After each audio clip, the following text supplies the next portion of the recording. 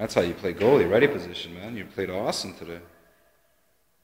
If you had your big glove, you probably would have had some of those glove saves. You, you made some glove saves, but it fell out No, of your the glove. big glove is way too heavy. Yeah? So you like the one you have now? Yeah.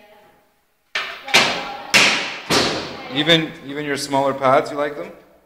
Yeah. The Jaden Stir. Look at this. I accidentally hit a Get that CD-ROM, baby.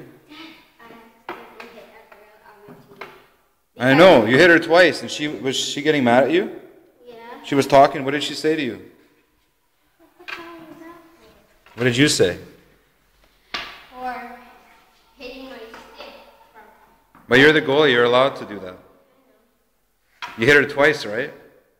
When you were diving, you hit her in the back of the leg or something, right? What? You're recording? Yeah.